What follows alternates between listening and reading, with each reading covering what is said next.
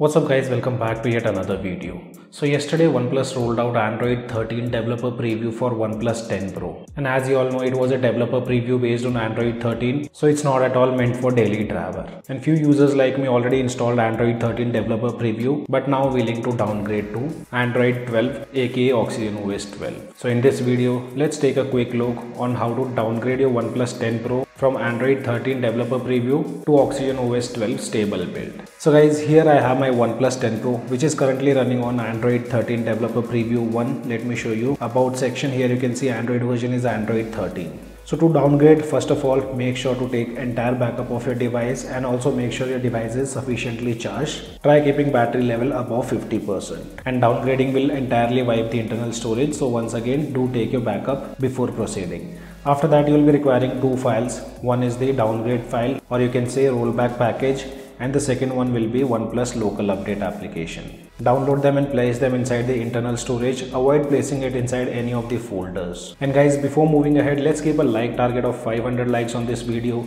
and still we have 82% of users who haven't subscribed to our channel. So if you guys find our videos helpful to you do consider subscribing and also press the bell icon to get notified whenever we upload a new video. Now moving on to the downgrade process. So if you're downloading the file on your device the file format would be .zip.jar you'll see these two extensions at the end. You just need to long press on it tap on these three dots tap on rename and you need to remove .jar extension from the end. Later save the file and then install the OnePlus local update application. I've already installed it. Once you do that after that what you have to do is you need to open OnePlus local update application.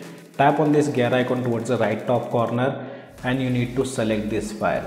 And if you guys are not able to tap or select this file from OnePlus local update application then for once go to settings applications app management tap on these three dots tap on show system files search for system update and from here clear caches and data. And this thing you only need to do if you are unable to select the file in OnePlus local update section.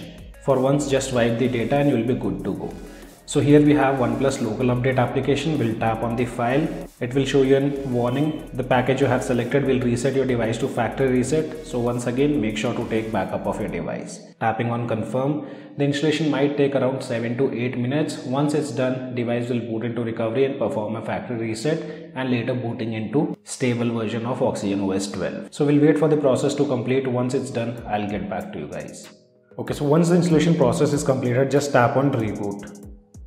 And there you can see device booted into stock recovery and performing a factory reset. Once done, device will boot into system. Okay, so there we go. Our device have been successfully booted now. Let's complete the initial setup and we'll show you the software version. Now let's go to settings, about phone and here you can see we have downgraded device to Oxygen OS 12 aka Android 12. If you talk about the version it says A.13 and this is the latest build based on Oxygen OS 12.1 for OnePlus 10 Pro. So guys this was a quick guide to downgrade your OnePlus 10 Pro from Android 13 developer preview to stable Oxygen OS 12.1.